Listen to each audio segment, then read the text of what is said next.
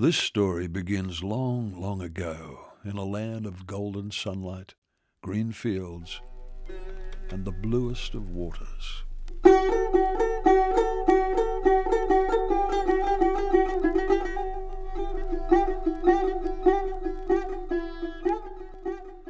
Among the valleys and snow-capped mountains, there lived a young prince.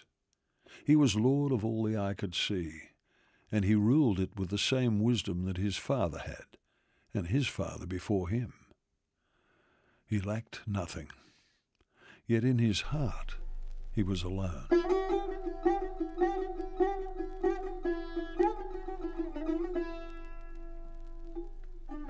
One day, while hunting in the forest, he came across a beautiful maiden. She was the loveliest girl he had ever seen, and in the gentle light of her eyes, he saw that he must make her his queen.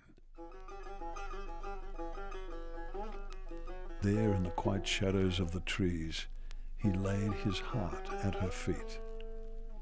From that moment on, they were never apart, and their days passed in laughter and the hushed tones of lovers.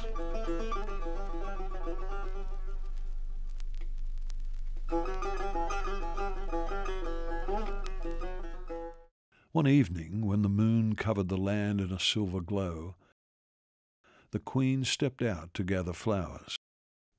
Suddenly, from deep within the long grass, a venomous snake struck and killed her. The prince was heartbroken. For days he lay next to the queen's body, his face broken with tears. His sadness was like some dark blanket covering the land. As he had no sons or brothers to succeed him, all began to fear that he would take his own life. Then one day his door opened, and he rose and ate. He then turned to his advisers and said that he wanted the Queen's body placed in a coffin of lead and silver, and that the outer coffin be made of scented wood wrought with gold.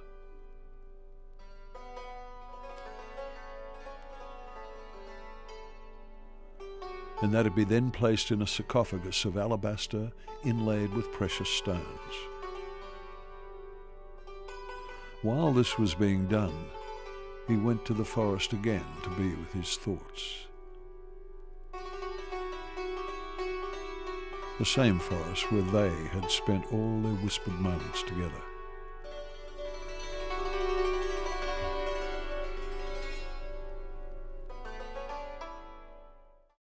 When he returned, he gathered his counsellors and his people before him and told them of what he had in mind.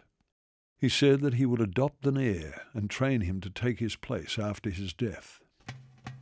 But for the rest of his time, he would dedicate all his powers and wealth to the building of a monument worthy of his lost queen. Year followed year, and he devoted himself to building and adorning the building. The great foundation was hewn out of living rock. The sarcophagus was then placed beneath a pavilion of fine workmanship, and about it there were set pillars of stone. There were so many, many details to attend to, and as the time passed, the prince was no longer the graceful youth who had loved the girl queen. He was now a man, grave and intent, wholly set upon the building.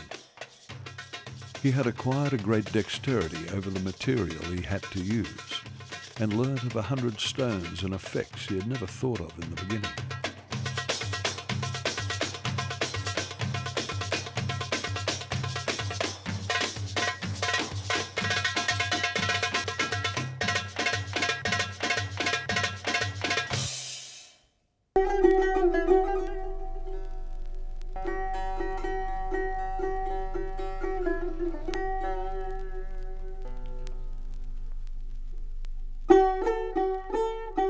As the monument took shape and appeared to be on the verge of completion, the people gathered to stare in awe at its austere beauty.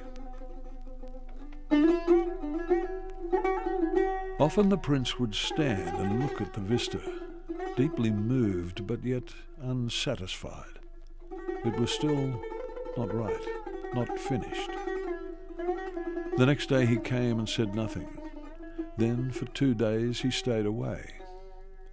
When he returned, he brought with him his architect and master builders. All looked, standing together amidst the serene vastness of their achievement. But something marred the absolute harmony. It was the sarcophagus. It now seemed to challenge the eye and appeared ugly and out of place. For a long time the prince was silent. Then he turned and said, Take that thing away.